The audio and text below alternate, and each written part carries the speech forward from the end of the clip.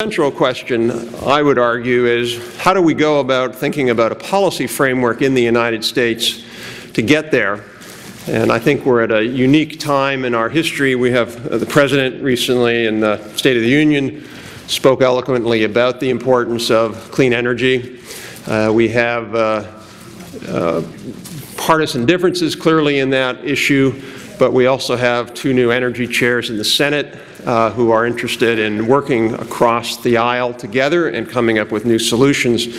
So I think we're at a pretty important and uh, interesting moment in our history as to whether we can move forward. And that's the focus of the next panel or debate is really to honestly and openly air some of the uh, that we have, if you will, inside this movement. There's obviously a, a, big debate, if you will, between this movement and the movement that doesn't believe in the first three things I listed, that climate change is real, it's a problem, um, or that it's um, something uh, we need to be focusing on. But among the people who believe that, we certainly by no stretch of the imagination have unanimity. There are folks who think we should set a price or set a cap. There are other folks who think we should do more R&D, and et cetera, et cetera. So that's really the focus of this next, um, of this next discussion. Uh, before I introduce uh, our moderator, John Broder, I just want to point out uh, ITIF's Clean Energy team, Matt Stepp, uh, Megan Nicholson, and Clifton Yin. I don't know where Clifton is, but um, they do a fantastic job in research and analysis, and I encourage you to go online and read their work, and increasingly uh, Matt's work. Uh, Matt is now a blogger at Fortune, Forbes, one of the four, uh, and I encourage you to look at that. So, um, if I could ask our folks to come on up. Uh, this panel is going to be led by John Broder, who you all know, should know. He reports on energy and environment for the New York Times. He's here in the Washington Bureau. He's been a reporter since 1973 and has covered local, state, and national government, banking, defense, intel, White House, and numerous political campaigns. Previously, uh, he was LA bureau chief for the Times. He was also at the Los Angeles Times newspaper for over 12 years. He's uh, lectured at many, many universities, Yale, University of Michigan, et cetera, uh, and is really one of the leading um, uh, members of the Fourth Estate when it comes to writing eloquently about these uh, energy and environment issues that are so important. So, John? Thanks very much. I'm glad to be here and I'm hoping to learn some things myself. It's a commonplace for a person who's introducing a panel to say that the panelists need no introduction and in this case they don't because their bios are in the little booklet that uh, you got when you walked in. Uh, I think Fred Krupp, uh, the longtime president of the Environmental Defense Fund, will be speaking first. Um, the one thing that, that I will say, because this sets up the, the dialectic that I'm hoping we'll see today, is that EDF has been uh, one of the leading voices for the use of market um, forces to address problems of the common, like pollution. Uh, and EDF was instrumental in pushing the Waxman-Markey bill across the finish line in the House. Uh, the Senate, as you all know, proved to be a, tougher nut to crack. And perhaps um, Fred will talk a little bit about where market can be effective in, in addressing pollution, like in the 1990 Clean Air Act amendments and how it addressed the acid rain problem, and where so far in climate change it has not yet been that successful. Ted Nordhaus is the chairman of the Breakthrough Institute, longtime uh, affiliated with Yale University, uh, and he's a, a, fellow that keeps me honest as a reporter because I often refer to sort of the classic economic approach to pollution problems, saying that it's usually either addressed by market forces, as EDF will explain, uh, or by regulation. And uh, every morning that I publish such nonsense. I get an email from the Breakthrough Institute saying you left out innovation uh, and that uh, scientific innovation in the, the, minds of entrepreneurs sometimes turns out to be the best way of addressing these problems. Uh, with that, I'm going to let our panelists take it over and I hope you will be passing forward questions at a rapid clip to make my job easier. Thanks very much.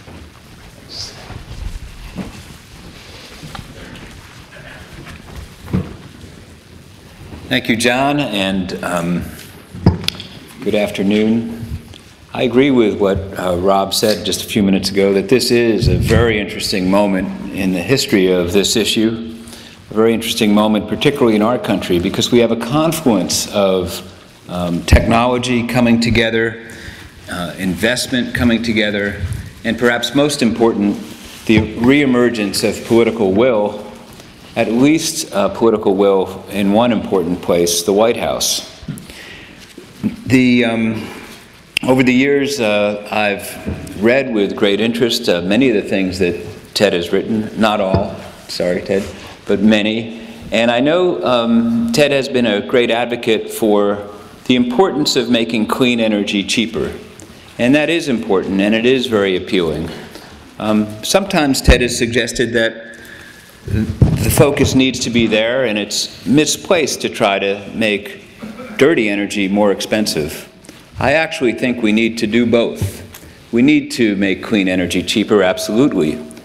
But we can't afford to rely, put all of our eggs in that basket, uh, because we don't know uh, for sure that clean energy can ever be cheaper than dirty, uncontrolled uh, burning of coal and other fossil fuels.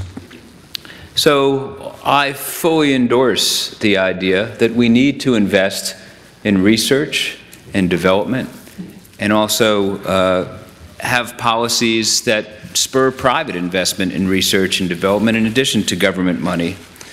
At the same time, I think we need to make sure that when folks uh, burn fossil fuels and throw pollution into our atmosphere and our lungs, um, that the full social costs of doing that um, using the atmosphere as a garbage can or our lungs as a receptacle are included, uh, internalized by the businesses. Now, admitted, admittedly, that's been very difficult to do at the federal level. Uh, very difficult. To me, though, um, just because it's hard doesn't mean it's unnecessary. I continue to think uh, that it's going to be very important for us to do that uh, in the United States and around the world. Now, the Environmental Defense Fund is made up mostly of scientists, economists, and uh, people that are expert about politics. Uh, the scientists uh, tell us about the problem, the economists tell us what needs to be done to fix it, and those that are expert in politics um, advise on how it can be possible to thread the needle in our political system and get things done. now, the scientists right now are, are pretty blunt. What they are saying is that we're making progress, but not nearly quick enough. That we need to reduce emissions of carbon pollution and methane and other short lived forcing gases a whole lot uh, pretty quickly, or we're screwed.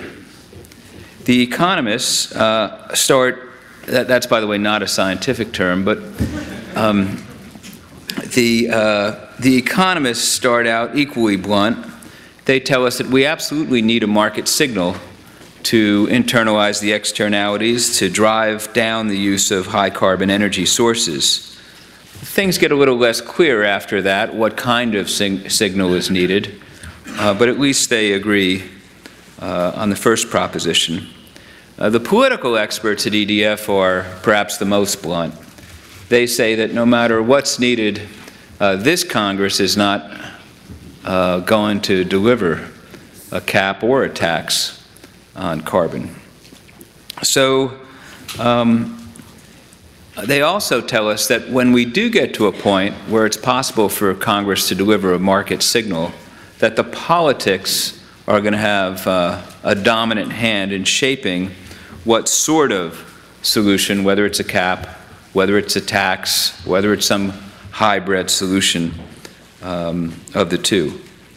Now, everyone um, that I know of in this area has favored policy ideas. EDF has long favored a cap because it gives us certainty about um, environmental emissions, about carbon emissions. And the studies that have been done show that um, it's working very well in Europe. It's working well to bring emissions down, Uh, This week, the price is very low, so those who think that the objective is a high carbon price um, will point that out. I actually think the objective is low carbon emissions, don't you? And from that standpoint, um, it's, it's working very well, although certainly um, uh, could use um, to be could use some refinements. In California, we've just put in place a AB 32 cap and trade system in California. Um, I realize that despite these two experiments, there are those like uh, Greg Mankiw and Kevin Hassett who argue for a carbon tax. There's a whole camp that argue for cap and dividend. Um, there are lots of possibilities out there. Australia has a carbon tax that morphs over time into a cap. But um, while I welcome this debate, to me, the only criteria that's important is what gets emissions down fast. The idea is not that any single policy is a silver bullet. The idea is that we need to get emissions down fast, and that should be the test of any policy that's put out there. Um, in the meantime, what happens since Congress is not likely to give us any of the above, this Congress, in the near future? Well, it turns out that the meantime is pretty damn important because, as Rob um, started us out here this afternoon saying, this is, a, this is a pivotal moment and some big decisions are being made. Power companies are deciding whether they should cut, shut down coal-fired power plants or retrofit them to meet the new EPA regulations. And it's likely that whatever investment they make is going to be uh, a very important um, factor in shaping what exists in the long haul. It's sunk capital, and regulators will be very reluctant to uh, strand those costs to shut those things down once new investments are made. So this is a critical moment, it's likely that what's built in the next five years uh, or what's retrofit in the next few years uh, will be around for the rest of at least my lifetime. And so I think there are three uh, very important objectives uh, right now. First, the President needs to go forward and finalize health standards for power plants. That's an immediate thing that he needs to do. Um, and that in its, of itself will help drive uh, cleaner choices. Second, we do need to proceed with research and development and employment. Both policies that um, fund uh, research, we've seen that R&D can make a big difference in the clean energy space, particularly when it occurs at the same time that government is regulating to require um, cleaner air. Um, and uh, I'm happy to say that the Alliance to Save Energy is, also has a series of suggestions coming from their Commission on Energy Efficiency that I served on. That will be out next February. Uh, that will be out this February 7th next week. So not that long to wait. Um, I think it is possible to double America's productivity um, for the same unit of energy and um, I think there'll be a series of ideas to do exactly that. All of those things, investing in research and development and R&D, investing in policies that deploy energy efficiencies and renewables, help. They help reduce the political resistance to actually um, getting the real tough climate legislation we need to put a price on carbon or a cap into place. As part of that, um, we also need a whole series of new policies in our public utility commissions, our FERCs, our regional transmission organizations. You know, I'm reminded that when I was growing up, a phone looked like a pink princess phone or a beige wall set or a black phone. Now we've had an IT revolution. We had an IT revolution because of government policies, and government policies in the energy sector can achieve the same level of innovation. Right now, there are just too many obstacles in the way of innovation in the energy sector, obstacles that keep the system looking pretty much like what Thomas Edison designed. we can um, put in place policies that speed uh, a modern grid, a smart grid, energy efficiency, smarter appliances, cars, airplanes, um, and everything else that burns and, uh, fuel and emits carbon pollution. My last point, uh, my third point, is the natural gas revolution that is underway. Uh, we need to work very hard to make sure that that is done in a clean way and that is done in a way that harvests the maximum climate benefits. A year ago, in the pr proceedings for the National Academy of Sciences, uh, um, a paper was published that was very important that shows that if the emissions of methane are above 3% system-wide in, in natural gas, that um, actually, if that were to be the case, that converting coal to natural gas would be worse for the climate over the immediate next 20 years, which is a pretty important time frame if you're worried about positive feedbacks, the melting of the tundra, the disappearance of coral reefs. Um, and so uh, the fact of the matter is we don't know what the leak rate is in the United States. Uh, EDF is cooperating with a lot of companies and, and, participating in a series of studies now to nail this. But I already know enough to tell you that uh, we need to work to reduce emissions, and it's very possible to do that. 67% of the emissions come from uh, just 10%, 10% of the wells. So we should continue to debate solutions, um, but as we're debating them in theory, we should do the things we need to do now to maximize the gains we can make over the next couple of years. Thanks.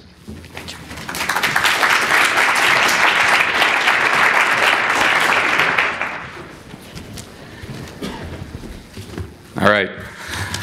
Well, John, I'm going to correct you again. Um, uh, thanks for the great introduction. Um, I am actually not the Nordhaus affiliated oh, with I'm Yale. sorry. That's I'm my sorry. uncle, Oh. uh, Bill, who um, uh, probably actually agrees with Fred more than I do. Um, but, um, and, and Fred, thanks for, um, I, I think actually sort of giving a pretty succinct um, sort of view of, I think what has been the sort of the conventional view on how to deal with this problem. And I'm, I'm going to offer, I think, a fairly different perspective on this. Um, so I want to do a couple of things. I want to suggest sort of three things that I think point to where we're going. Um, and then I think I want to talk about three other things that we really need to get focused on doing. So in terms of where we're heading, I think if there is uh, one thing that is really uh, now clear, it's that, uh, or should be, it's that we are not going to price, cap, or regulate our way to a low carbon future. Um, the reasons for that are part political and part technological. Uh, technologically, uh, present low carbon technologies uh, simply can't scale at the uh, scale that we need them to if we're actually going to have much impact on climate change. Um, and that's because, as I think we've discussed um, at some length earlier in the day, they're too costly, they're intermittent, and there are, uh, as uh, Fred rightly points out, um, uh, a number of other, uh, a, a, wide range of other non-market barriers to their deployment. Um, politically, I think what's become clear is that no political economy in the world has been willing to raise the cost of energy sufficiently to deploy significant amounts of zero carbon energy. Um, and that is because cheap energy is too important to living standards in the developing world and too important to economic competitiveness pretty much everywhere. So that's my first point. Second, uh, the key to making progress, uh, both politically and substantively, uh, meaning actually putting policies in place that actually have an impact on emissions, um, is uh, developing energy technologies that are clean, cheap, and abundant. Um, and um, I think if you look at what has happened with the gas revolution in this country over the last five years, you get a, a pretty powerful example of how quickly we can make progress on emissions when we have a technology that is better, cheaper, and cleaner than the incumbent fossil technology, which in the case of the United States has been coal. Um, and when we say make clean energy cheap, we don't mean just subsidize it so it costs less or make dirty energy cost more. We actually know how to make these technologies cheaper through public investments, a range of public investments. Um, uh, but that takes time and it takes money. Um, the third point is that I think that the path that the Obama administration um, appears likely to take in the second term has been perceived as a kind of plan B, what you do when you can't get a cap or a price on carbon.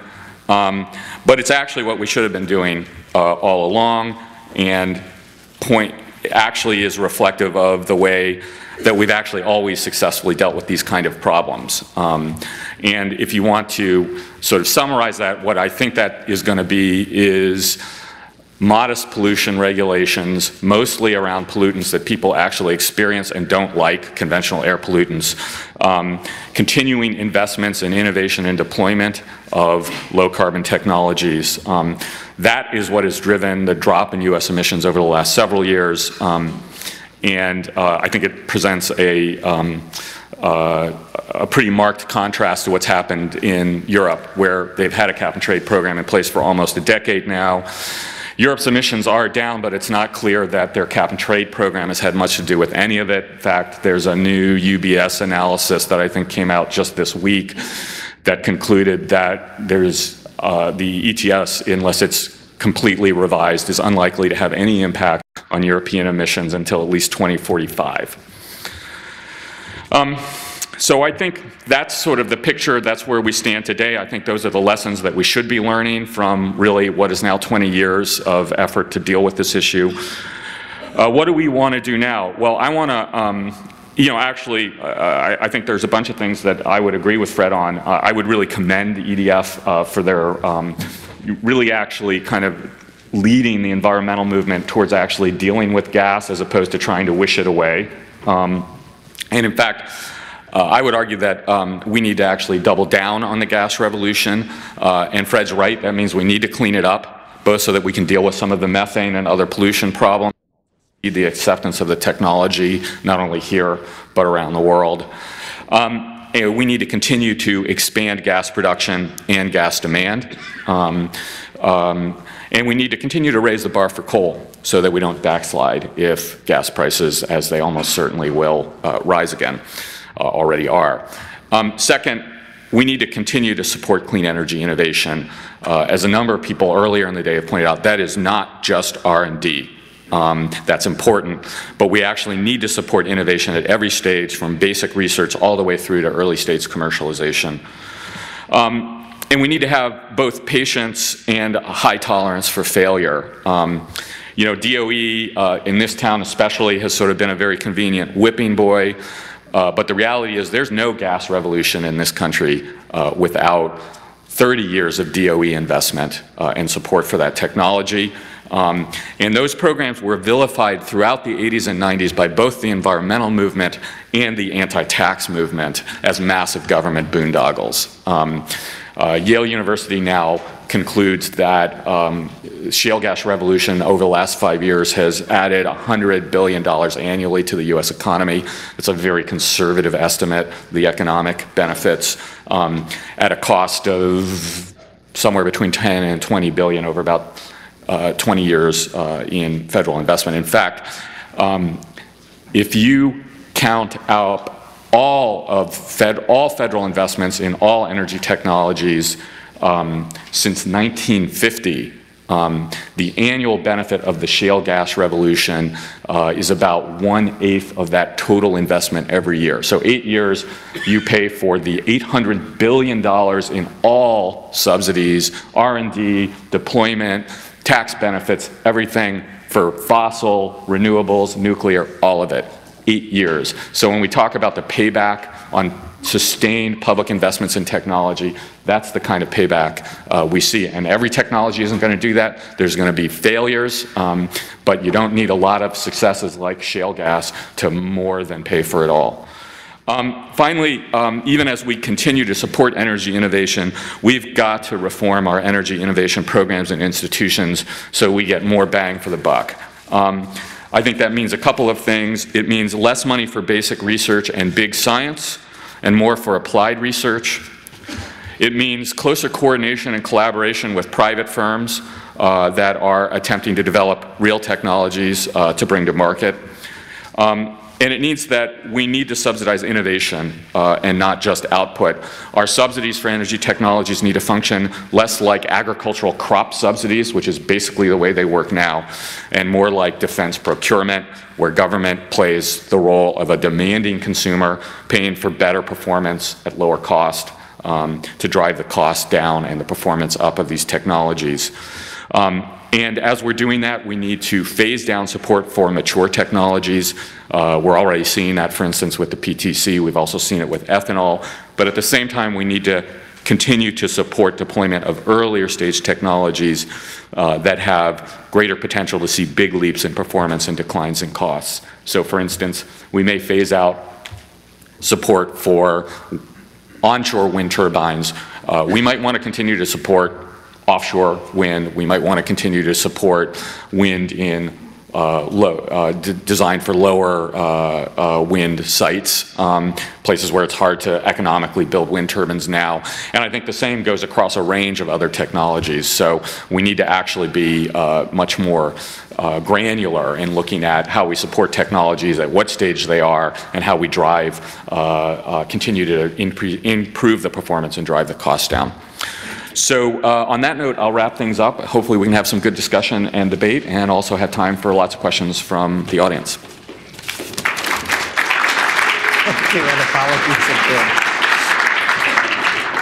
Uh, both, can you hear me?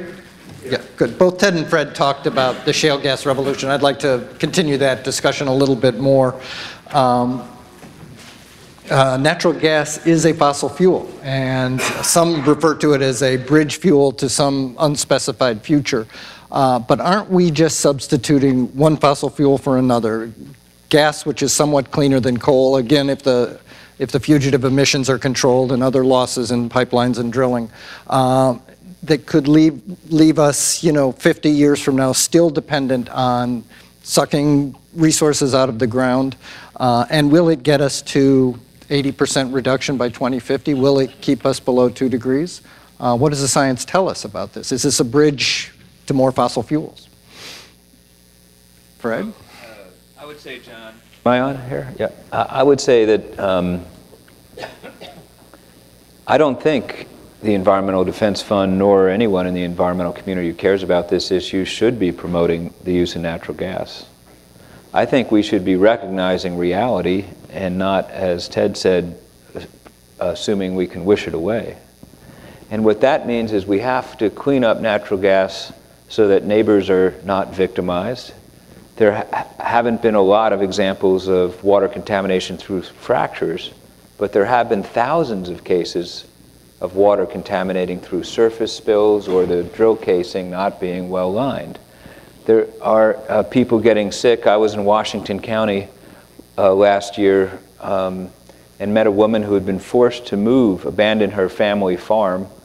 Uh, her son was living with neighbors so he could attend school because of the noxious fumes coming out of the wells. So we have to clean this up, both for the neighbors and for the atmosphere.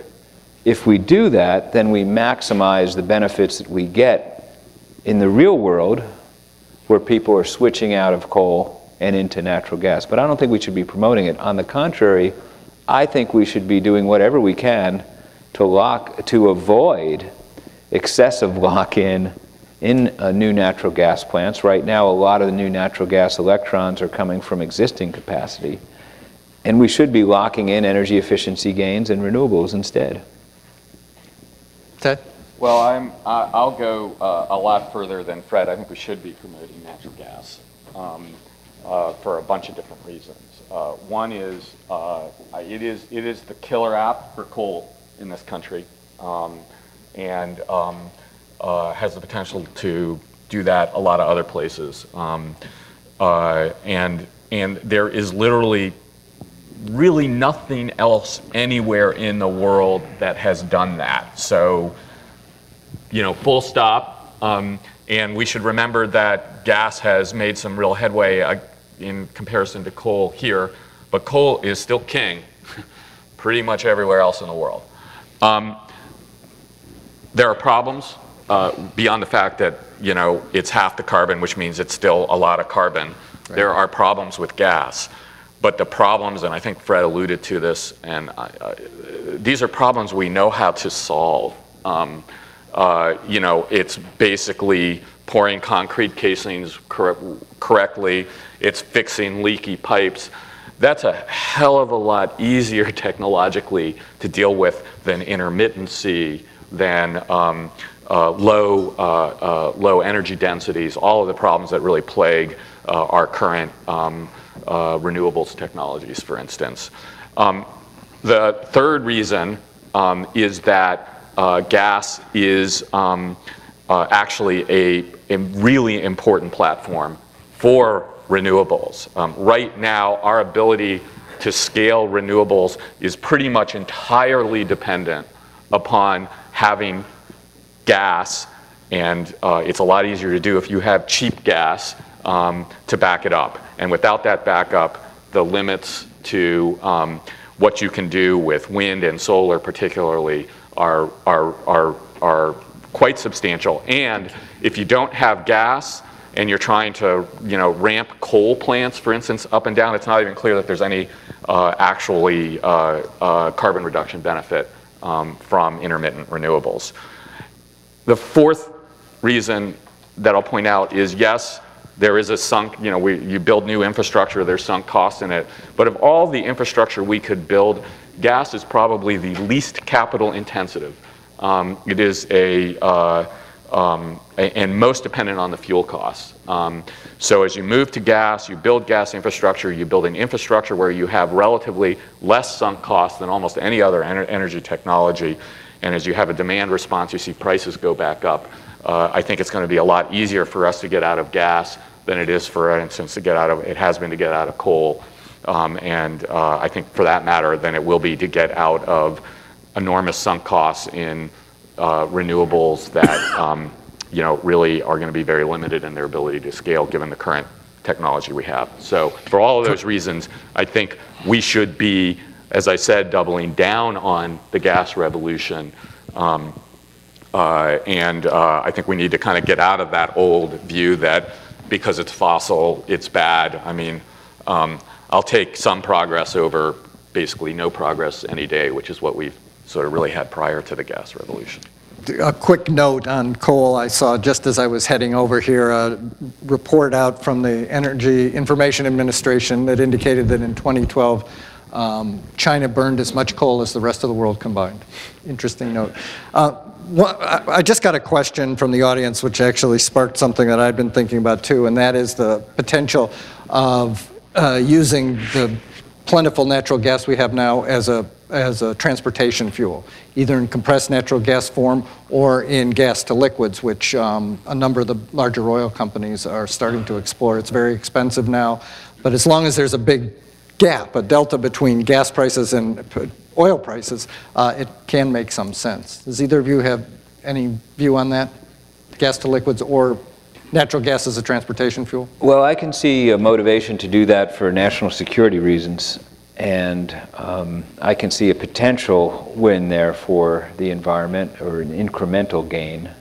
But at the moment, um, uh, we need to look at the science. Uh, the science says that when you switch from diesel fuel to compressed natural gas, mm -hmm. the break-even point as to how much methane could be emitted between the well and the truck, um, how much methane you take out of the ground that leaks fugitive emissions is 1%.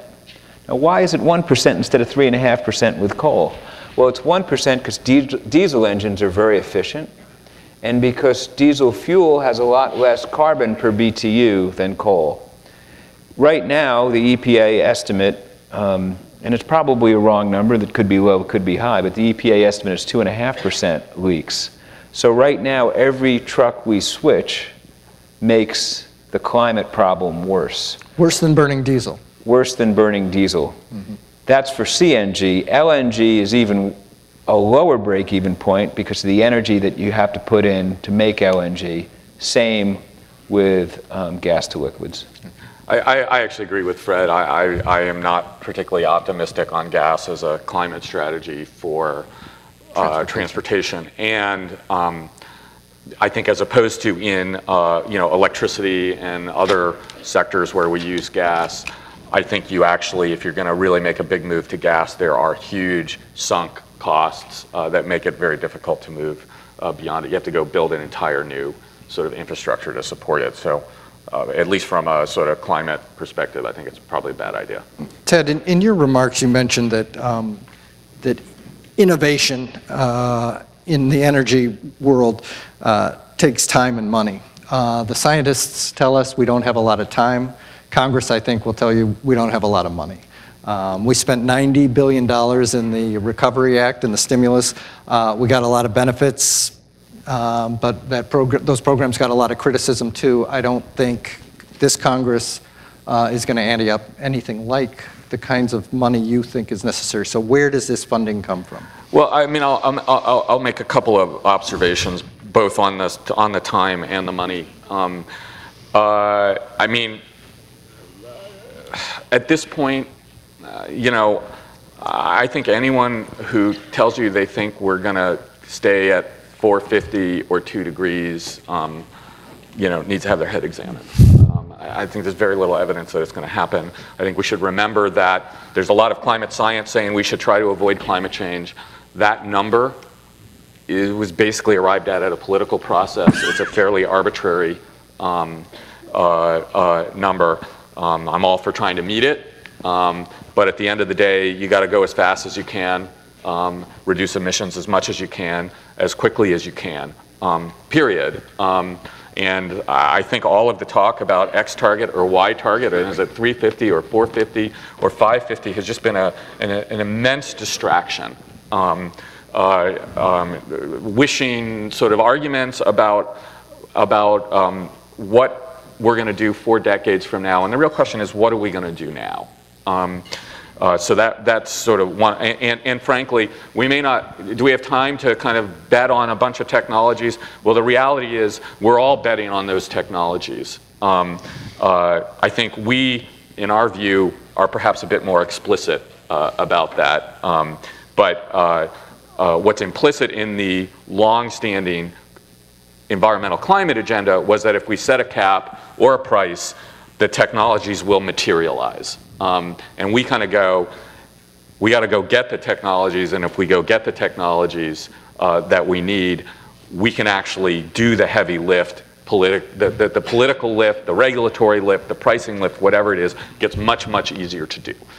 That leads to a question that just came up here from, it appears to be Andy Cameron from Augur Nexus. Uh, Wall Street will not invest in carbon numbers unless carbon is accurately counted. Is there a plan of instrumentation to count carbon emissions? I'm not quite sure I'm not what here. that means. Maybe Fred knows.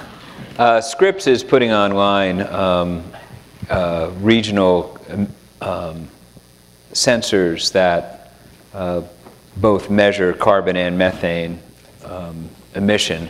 But it's pretty easy to, to measure carbon emissions. I mean, when you know how much uh, coal you burn, you know how much carbon you put out. Same with gasoline and diesel sales. Uh, methane is the hardest when it's because you're not burning it. It's the unburned methane, the unburned natural gas that's a problem. So that we need to do a better job getting sensors on. But I just, I just want to say, John, that um, I hear a lot of pessimism from Ted. I, I'm sure you think, Ted, it's realism. But I'm not ready to give up on 450 or 2 degrees. And I know it's going to be really hard. But what makes me hopeful, and there's a difference between hope and optimism. Optimism is a prediction that it's all going to be fine. I don't know that I'm optimistic, but I'm hopeful. Hopeful is a verb with its sleeves rolled up. I'm hopeful. I'm hopeful because why are we in this fix? We're in this fix because the people invest in things that are profitable. And things are profitable when you don't price carbon, when you don't price that externality. Once we get capitalism, the greatest system that's ever been put together to organize human activities, unfortunately with a seamy underside, one of the seamy undersides being it chews up nature and the atmosphere, once we get capitalism and entrepreneurs harnessed to invent, have a profit motive to bring to market the technologies that are clean, uh, there's reason to be very hopeful. Ted says, well, it's not going to happen. We're not going to price carbon. We're not going to cap carbon. I've exceeded that in the United States in this Congress. But four, the four biggest countries in the world are in Indonesia, the United States, China, and Brazil. Indonesia and the United States don't have a cap on carbon, although the United States does in California, which is, after all, the biggest state. Um, Brazil has a cap on carbon. They still need to figure out the rules. They've made more progress than any other nation on earth reducing carbon emissions. They've vastly decreased uh, their deforestation rate. And China, well, China's over a billion people, but now, today, 250 million people live in cities and provinces where they are doing, in the 12th five year plan, cap and trade programs. So, two of the four big emitters are moving, plus the European Union, plus Australia, plus New Zealand, and you know, a handful of other countries, including South Korea, which is a big engine. So the idea that no one's going to do this anywhere in the world, we can't make 450, let's, you know, you know, we're going to sail through 450, we just have to accept that. I, I just don't accept that. Well, I, I just have to say, I, it's not actually pessimism. It's it's uh, I, my point is actually that, the, that these numbers are actually uh, sort of a distraction. Um, that the old, I mean, you have to realize that this cap and trade idea is just literally picking up the old, what we call pollution paradigm, which goes back to the early, much earlier air and water pollution laws. It goes, we're going to go set a scientific standard. Um, based on that, we're going to regulate emissions um, and, uh, and that's how we'll solve the problem. And that worked pretty well worked. for local and regional and national water and air pollution laws. It is not going to work well uh, for energy. And the point actually about the political constraints on this is not that you can't get Australia or Europe or China to do something that they call a cap and trade program. It's that the program is not going, the way these programs, by the time they go through the political process, get set up, um, uh, the meat grinder of politics and interests, and the fact that no politician actually wants to bring the pain to their constituents. Um, you get programs that can't actually have much impact on emissions. I mean, this is the, the, the, the, the conceit of carbon pricing theory was that you could go set up this sort of platonic ideal of a carbon price, whether it was through a cap uh, and trade program or a carbon tax, um, that would uniformly and in, in a consistent economy-wide way internalize uh, environmental externality. And what we see again and again and again is that it doesn't happen that way.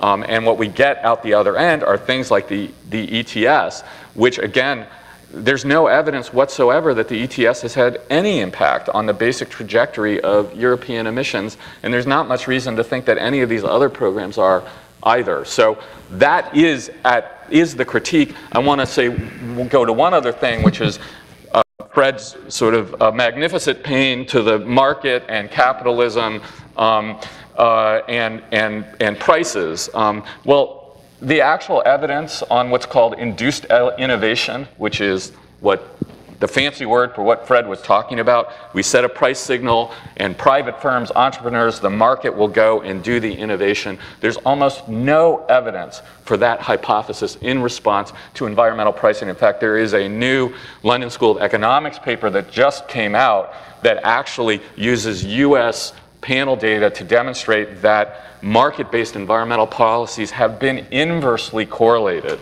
with uh, private sector R&D spending. Um, and there's a bunch of reasons for that, but... Um, Let me just interject one question and, and, try and get a relatively quick answer. If um, a cap and a tax uh, are politically impossible. Regulation is politically difficult, and it will be for, um, for Obama in the second term. The one sort of bipartisan uh, slash cowardly approach is often taken is the um, renewable electricity standard or the clean electricity standard, which sets an overall goal of clean electricity and lets the market take over from there. Does that meet your criteria as a signal to the market that might work? I think it actually, in terms of deploying clean energy technologies, I think it demonstrably works better than pricing. Fred, is that Uh, We're you guys- supportive of renewable portfolio standards too, especially in the absence of pricing or cap. So we agree. Okay, so maybe, maybe that's something that can move in this Congress, and, and President Obama has spoken about it in his last two or three States of the Union addresses. Okay, we're gonna, I'm gonna try and get through as many of these questions as possible, so I'll ask, uh, some of them are specifically directed to panelists too. This one's for Ted. Where or who should be the federal innovation sponsor? Should it continue to be the Department of Defense? Will that be adequate for orphan technology? Well, I think, um, I mean, uh, when you look at. What is orphan technology, by the way? I'm not sure I understand the term. I think Armond Cohen earlier today uh, described nuclear and CCS as orphan technologies. Um, I think that uh, technologies where there's just not um, sort of any place to go get them done.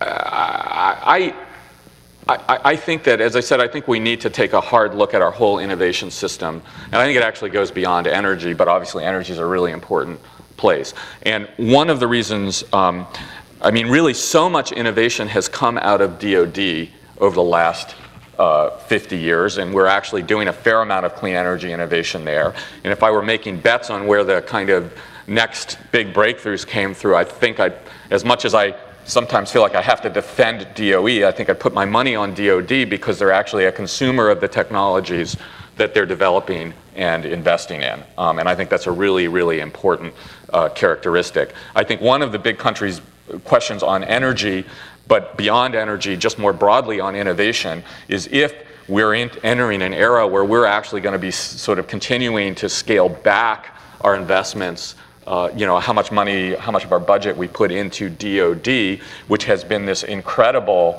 innovation engine for a half century. Uh, how are we going to make up that? Uh, we, if we hadn't had DoD, we'd have had to go invent some institution to do something like it over the last 50 years if we were going to ex- experience the kind of affluence that we've experienced. And I think sort of one of the big questions for policymakers long term is if we're not going to continue to do that through DoD, uh, how and where are we going to do it? Um, I'm going to summarize this uh, question, which begins clean coal, oxymoron, threat, or menace. Um, Is this a realistic technology? If, if there's one technology that the Department of Energy has spent nearly as much money uh, as on fracking, it's so-called clean coal. Is this a viable solution, Fred? Well, uh, the only clean coal would be coal where you sequester the carbon. And I would say um, that we are not going to have firm sequestering carbon until there's a requirement uh, to do that. So, yes, uh, Ted and I agree we should be making coal cleaner in terms of conventional pollutants. He's a little more tepid on the CO2 emissions. I don't see what's different about CO2. I think um, in the history of the world, we've solved pollution going into the air when we've regulated it. And so I think EPA should be aggressively going after CO2 for existing as well as uh, new power plants. Um, acid rain, by the way, was all about power plants and the electric sector and the energy industry. The same argument Ted makes today that it could not work because electricity prices needed to be low was made then. We showed that you could decouple the pollution from power plants from electricity prices. Electricity prices, you know, went down, pollution went down too. So, um, and on the EU, I just might add Ellerman et al. Um, is, is one great study with evidence that the EU ETS is working despite Ted's protestations to the contrary. Well, I'll, without getting into sort of dueling uh, papers, um, I, I have looked at actually, actually have looked at Ellerman, and what it finds is through fairly extremely uh, torturous uh, calculations, uh, essentially trying to create a counterfactual of what emissions might have been without it, they conclude that it achieved quite modest reductions. Um, uh, you know, as I said, there's, you know, and that was in a period when you had relatively high, high carbon prices, um, which we don't anymore. Um, but, but let me um, get to the meat of it. I actually kind of, uh, I'm actually in some ways more optimistic about capturing carbon from gas um, than from coal um, because I think it's a technologically easier lift. Um, and if you've got lots of cheap gas, um, I think it's, it's uh, potentially certainly a starting place. I actually agree. I don't have any problem with CO2 regs um, uh, under the Clean Air Act. I think we'll do them. I think they'll be quite modest. Um, and I think if you have a lot of cheap gas, they can have a big impact. Um, but uh, this goes to the larger point, which is that when you have a cheap, clean substitute, anything is possible. The cap and trade stuff worked because in the decade prior to that, we actually developed cheap substitutes, mostly because of command and control regulations, as well as a number of other things. That cap and trade program, again, pretty overwhelming in the literature that it sparked very little actual innovation. Um, but um, I think that, you know, if you look at those CO2 regs and the air pollution regs that have bo both come online, the fact that we had a lot of cheap gas just made the political lift uh, much easier um, and really puts the wind at the backs of, of, the, of the regulatory and political efforts uh, to shut down coal, um, as well as creating market dynamics that um, make that easier. Ted, let me give you one concrete example of innovation. Maybe you don't consider it innovation because it's not big, fancy, whiz-bang new device, but after the acid rain law came into effect, and it made it profitable to reduce sulfur by as much as possible, and you could even trade those extra reductions to another factory that couldn't figure it out.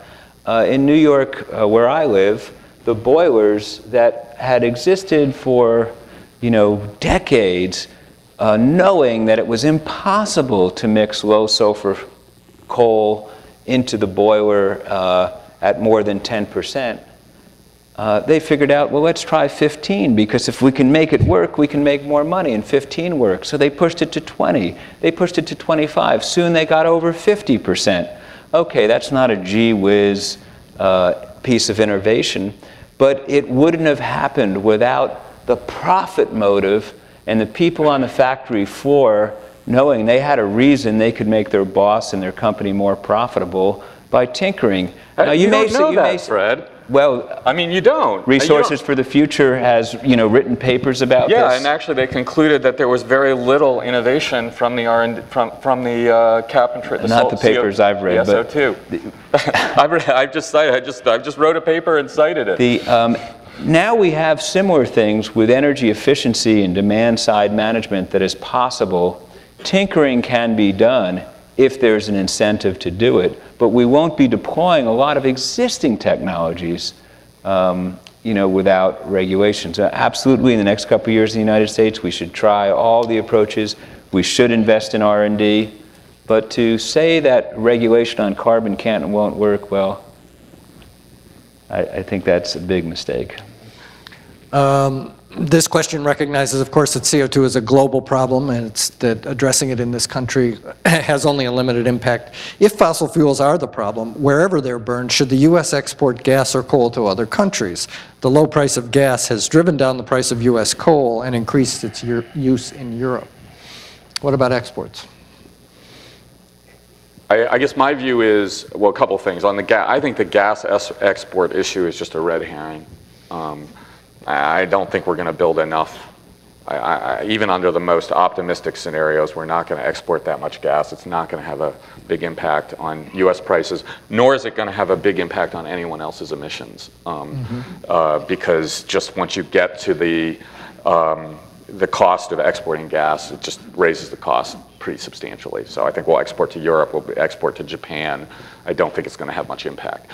The thing that might have an impact is if we start exporting the gas technologies. Um, so that China, India. The drilling other, technology? Pardon? The, the drilling, drilling, technologies. technology. Um, uh, you know, on coal, um, uh, I, I mean, I think it's going to be actually interesting to see. I mean, obviously, coal exports are up, um, um, but we're also uh, shutting down coal mines. Um, so I don't think that we're going to export all of that coal that we are. Um, and I think I think there's a couple new studies that that conclude that um, uh, uh, there is some leakage in emissions with with coal being displaced here and exported elsewhere, but it is not nearly uh, does not nearly uh, equal the decline that we've seen from the switch from coal to gas domestically. We are exporting a lot of coal to Germany, and their emissions are going up. This fact of the matter is. I agree, though, that I don't think natural gas exports will end up being huge. It's a long-term, multi-billion dollar bet of what the prices of natural gas will be. I don't. I think it's unlikely a lot of people will be willing to make those multi-billion dollar bets. Uh, Here's a question for both of you. With our current ethanol industry needing other feedstocks than corn and soy because of food versus fuel problems, is it really an established industry that can afford to lose financial and policy support? Does ethanol continue to need um, federal price support and subsidies? Um, It's a mystery why uh, we have an ethanol mandate in this country. Um, It's certainly, from a climate perspective. A mystery, perhaps not. You you have political people on your staff, don't you? uh, From the standpoint of An economic scientific... mystery, perhaps. scientific rationale or what's good for our country to have so much of our corn being turned into fuel without uh, significant greenhouse gains or energy gains uh, is deplorable. Any opinion on that? I don't really have anything to add to that. that? Okay. Uh, All right, I'm just going to read this. I'm not sure what the question is in here.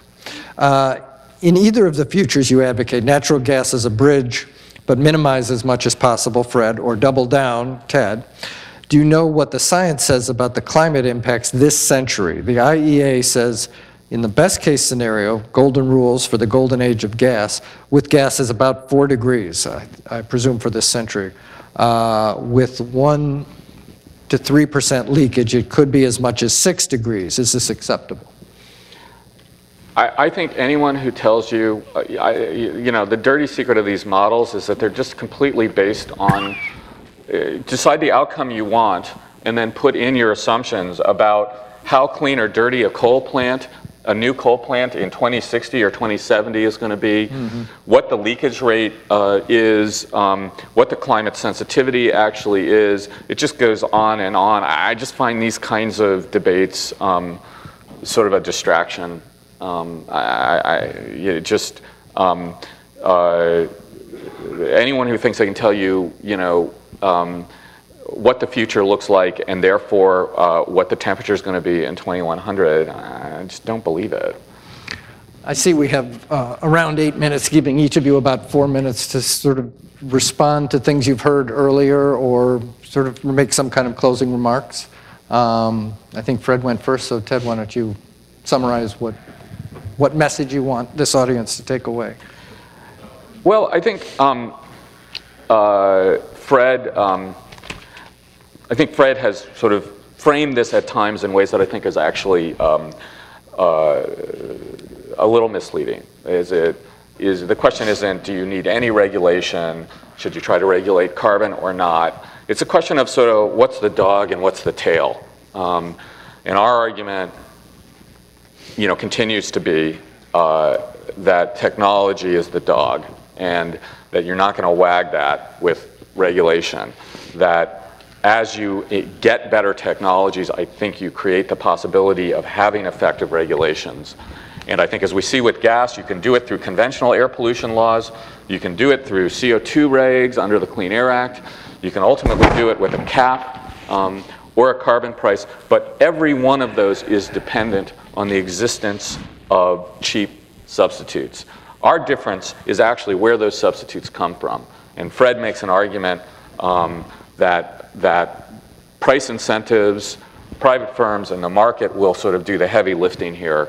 Um, I don't think it's well supported uh, um, uh, in, in either the literature or our experience. Um, uh, either in theory or practice. Um, and our argument is, you know, do some regulations here and there as you think, but the main event here is actually investing in the technologies, in developing the technologies that we need, um, that that is a public good. It is the central challenge.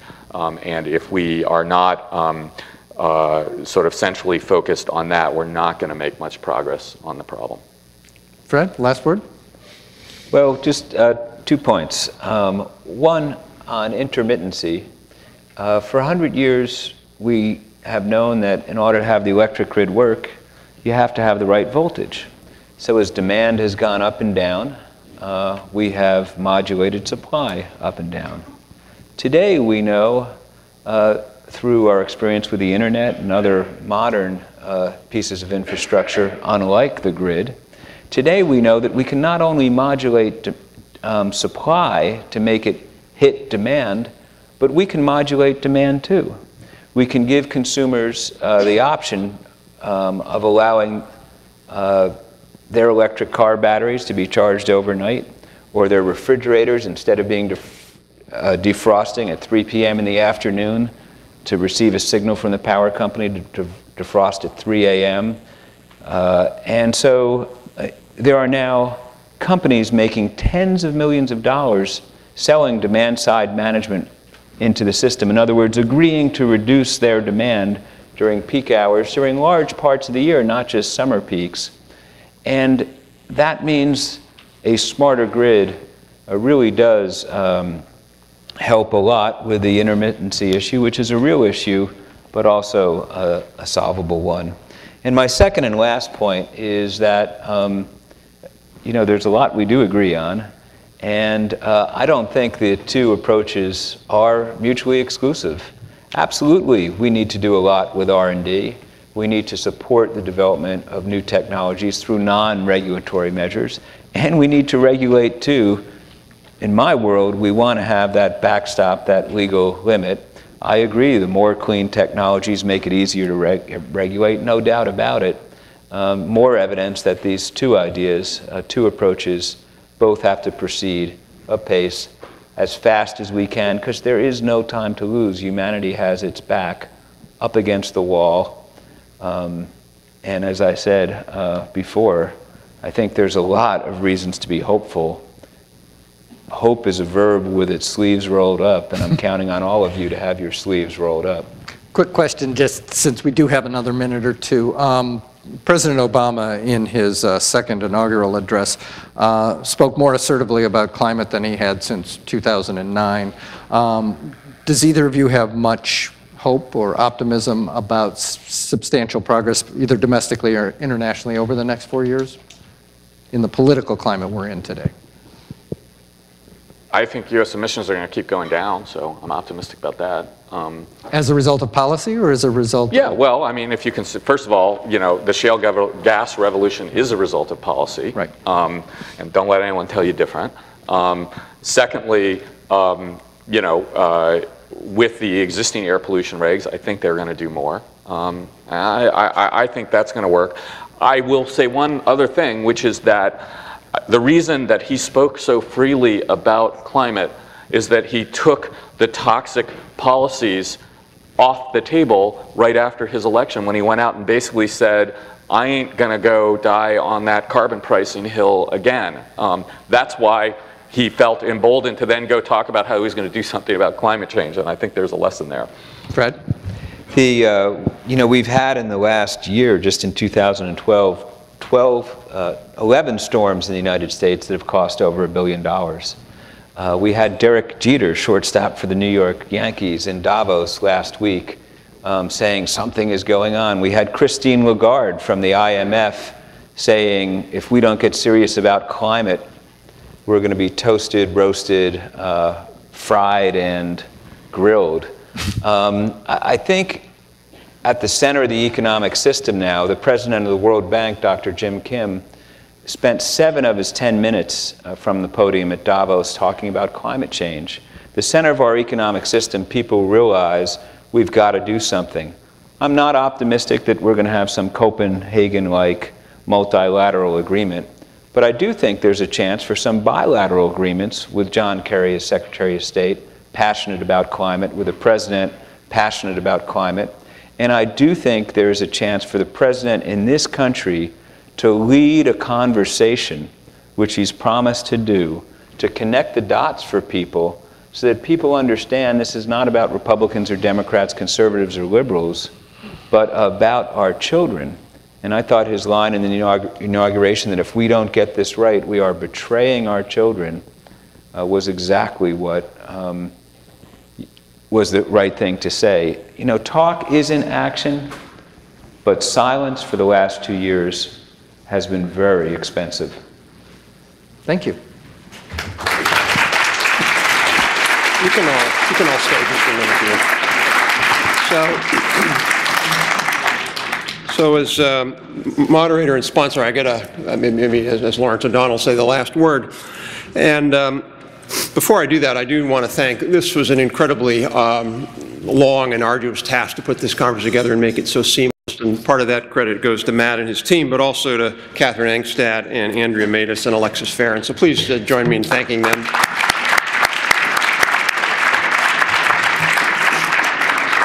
So let me just make five or six really quick points from what I heard today and kind of try to summarize what I've heard today. Uh, one I heard today was that uh, we, we, can we should do it all. That that there's um, everything is needed, and yet when we heard from Armond Cohen about the fact that we're investing massively more globally in deployment than we are in R&D, uh, it suggests that we maybe can't do it all. Uh, you know, in a platonic world where all of us were kings and we had control over the budgets and the regulatory system, we probably could do it all. But that's not the reality we live in. Reality we live in is a world of constraints and uh, where there have to be tough political choices. So I, I, think we just can't assume that we're going to do it all or can do it all. We have to make choices, and that's again why we tried that uh, the Innovation Energy Innovation U.S. budget, which is an attempt to say, look, we have to make real choices. If you were Senate uh, Appropriations Chair, what are the choices you, would you make? The second uh, thing I heard a little bit was this notion somehow that the costs are going to continue to fall, that we can sort of rely on that.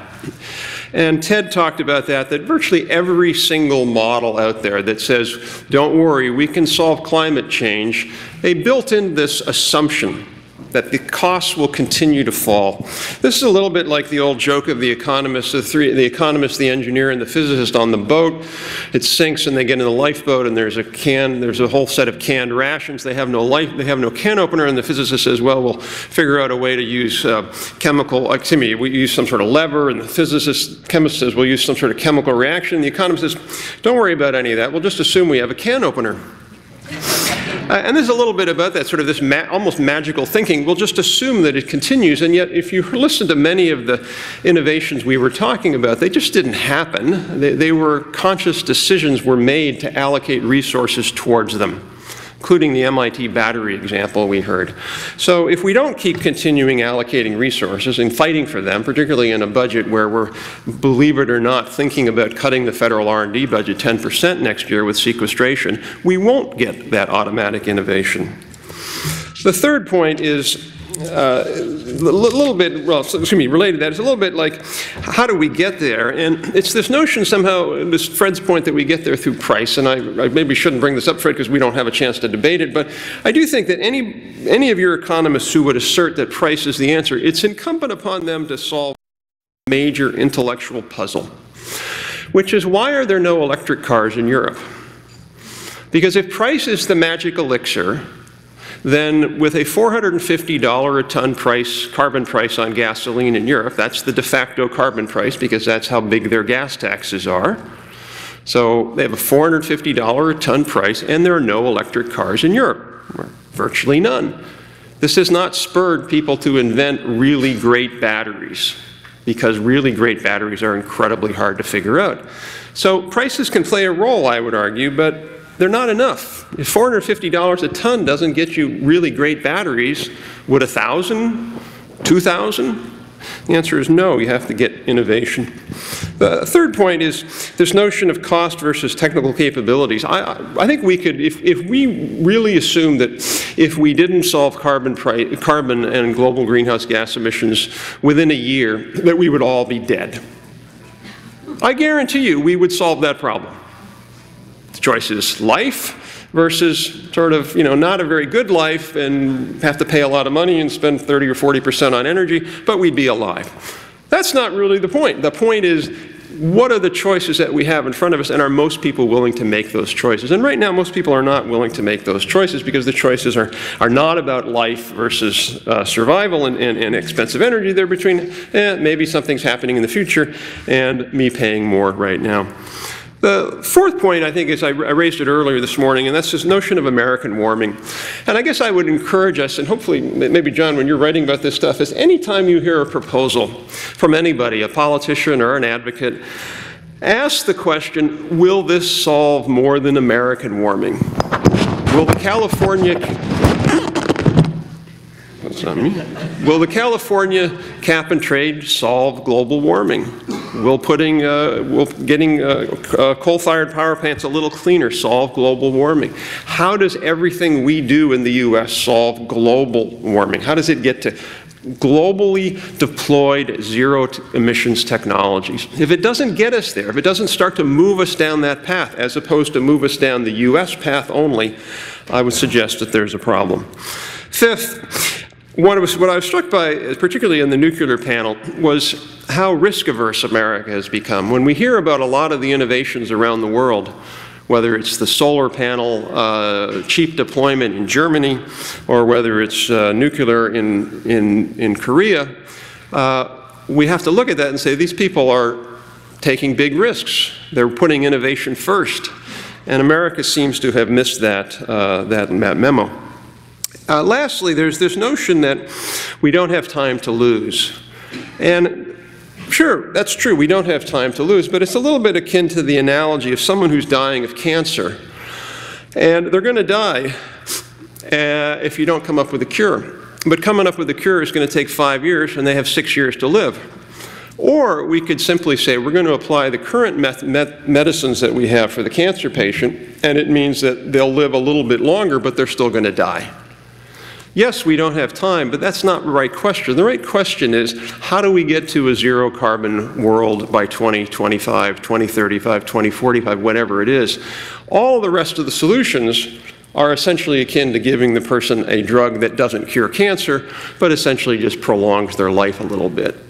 So I think with those, uh, all of that there, I think the most important thing we can do uh, is we need to be thinking about how do we get solutions that are going to scale, that are going to be global, that are going to be universally adopted, and perhaps most importantly, are things that we can get done in this political environment.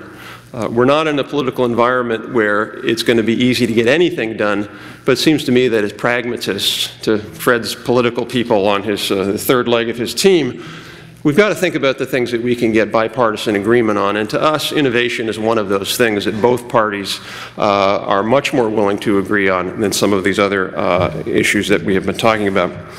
So with that, um, again, I want to thank all of you um, for coming and staying the entire day. Uh, this was, I think, a really great conference, and I want to thank all the great speakers and the moderator again for spending their, their valuable time with us.